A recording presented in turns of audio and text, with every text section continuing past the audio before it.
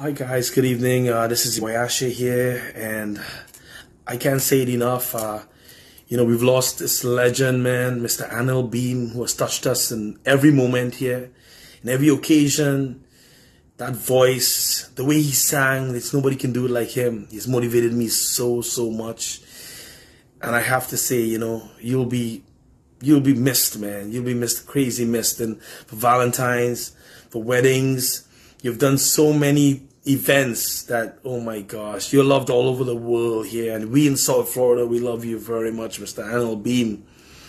So on behalf of mr samdale bachan johnson the louis body foundation mr jason babulal of the hibiscus restaurant lounge ms michelle rampasad from soundtech barbecue shari and myself we send our extended condolences and we ask god to please shower you guys with a lot of strength so you can deal with what we all are dealing with.